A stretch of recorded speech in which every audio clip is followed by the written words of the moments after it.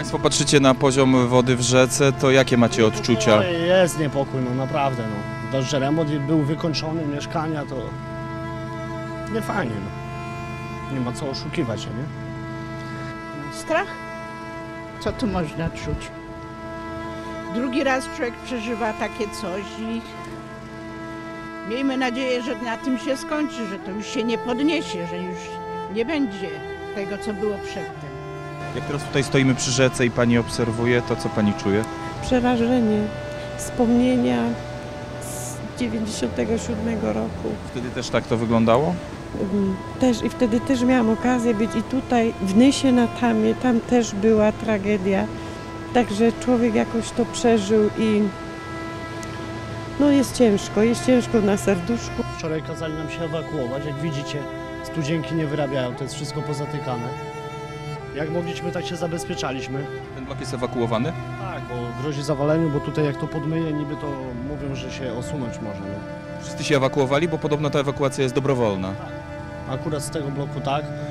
E, no tam niektórzy chcieli zostać, wiadomo, no to, to, to, też trzeba roz- zrozumieć tych starszych ludzi, tak? E, no niektórzy nie chcą y, stracić dorobku całego życia no i wolą zostać na miejscu.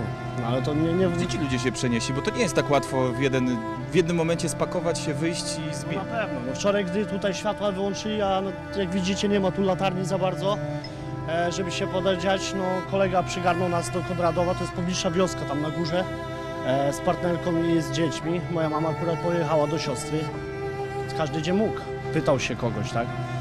I przynajmniej dobrze, że są ludzie jeszcze z dobrym z duszą, z sercem, bo niektórzy, no nie, no akurat trzeba było walczyć tutaj samemu z tym, co tu widzicie. Nie?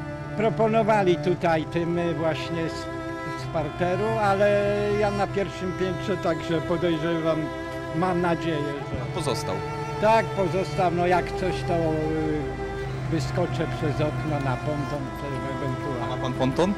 Y, właśnie nie, ale to nie, no to mają strażacy, bo widziałem, no. Także to wszystko, bo y, nas, nastawiłem obiadek, bo u Ludwy nieczynne, to znaczy w tym, y, w restauracji tu obok. Kilka dni temu słuchała Pani prognoz pogody, to spodziewała się Pani, że znowu dojdzie do takiej sytuacji? A gdzie? Przecież było słoneczko było. Ale przy pierwszej powodzi też było. W piątek było piękne słoneczko, w sobotę zaczęło lekko padać, w niedzielę padać, w poniedziałek było już słomko, a tu fala szła od trzech taka, że Mamy jeszcze tą, tą tragedię, że tu z Czech dużo wody, bo to jest rzeka górska. Wszystko w rękach. Na górze. Wskazują, że może przyjść fala większa niż wtedy. no tak mówią, że, że, że ma być większa niż była w tym, ale ja w to nie wierzę, ja absolutnie. To by była tragedia. Przedtem to było to wszystko tu zalane, tu, wszystko, tu, tu nie było nic, tu była jedna woda. Ta ulica jedna woda. I wszystko tam szło na te wioski, na Bodzanów, na ten. No okropnie było. Spodziewacie się, że mogłoby dojść do najgorszego? No na pewno zalać. No. Ja już tu to mieszkanie kiedyś dostaliśmy w 97, moja mama. To ja miałem 7 lat, mieszkaliśmy na Witaswosza. Jak dostaliśmy to mieszkanie, to mieliśmy 80 cm wody w pokoju. To to było i się wlewało, tak wylewało, więc no, Jedną powódź już Pan przeżył. no tak, no, pamiętam. Mój rocznik 90, więc pamiętam co tu się działo. Widziałem ryby płynące po ulicy na drugi dzień, jak woda opadała.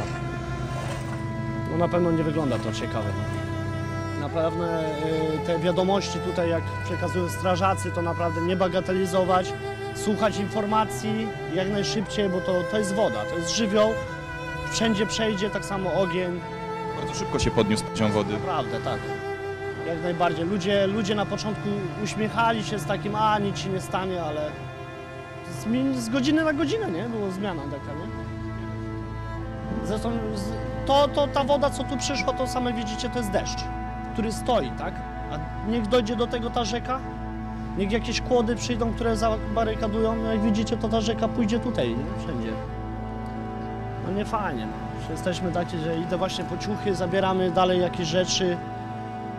Ja jakieś, nawet się nie chcę jeść posiłku, żeby tylko myślę, żeby to jakoś przeszło, wrócić do pracy, bo no naprawdę nieciekawie. No.